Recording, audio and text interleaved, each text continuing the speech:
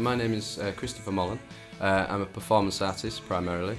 Um, I also make um, sculptural interventions. So this year I'm, I'm doing a performance installation. I'm doing that in the yard space. For the past year or so I've been hoarding um, or, or finding these objects on, on the coastlines of Yorkshire.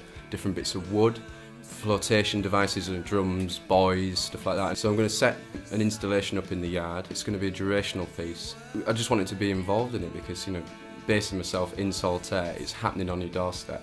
Um, you know, it's, it's magic. It's, it's great that stuff's happening like that and you can utilise your, your own home as a sort of hub for, for art.